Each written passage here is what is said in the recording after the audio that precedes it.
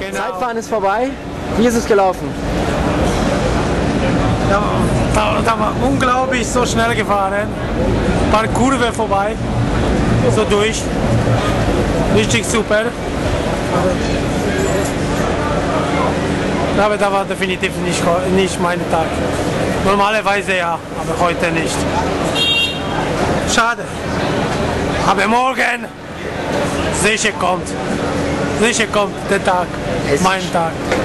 Woran lag es? Das Personal sind nicht gut vorbereitet. Ich habe gehört, der Busfahrer soll sehr Nee, speziell die, sein. Die Arschlöcher, die Arschlöcher macht alles gegen mir. Ich weiß nicht.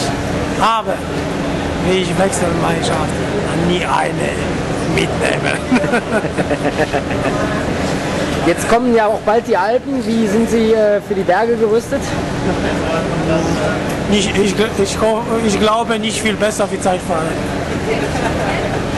Das heißt, der erste Tag und schon äh, wedeln Sie mit der weißen Fahne. Die Hoffnung ist verloren. Ja, ich weiß nicht. Ich glaube, die deutsche Mannschaft spielt viel besser, wie ich gefahren bin. Aber Wir bedanken uns bei einem zerknirschten äh, Zeitfahrspezialisten und äh, hoffen auf, auf Besserung in den Bergen. die Beine ist gut.